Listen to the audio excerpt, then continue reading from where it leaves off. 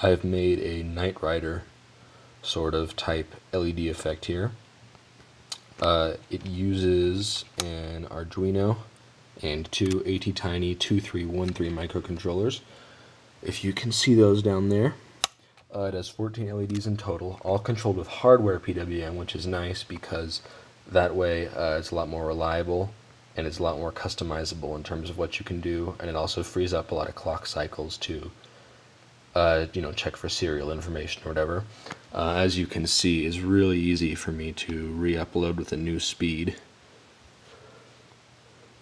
Uh, just give it a moment here. There we go. Uh, this is twice as fast as before. It's very it's as simple as changing a single number. Um, now, if you can see this here, the Arduino has two software serial connections to the ATtiny 2313s. They're synced on startup uh, by the Arduino pulling the reset pins low on both of these.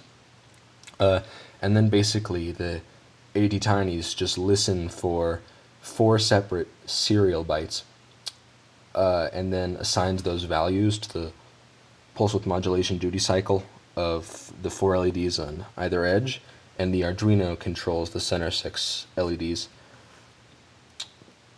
Um, it's really easy to make your own patterns if you want to. There's simply a, an array that's 14 wide, uh, you know, one byte for each LED. Uh, and then however many long you want. This one is 20 long. That's how many pulses, separate pulses this pattern takes. Uh, and it's very simple to make your own, very simple to change the speed. And that's pretty much it.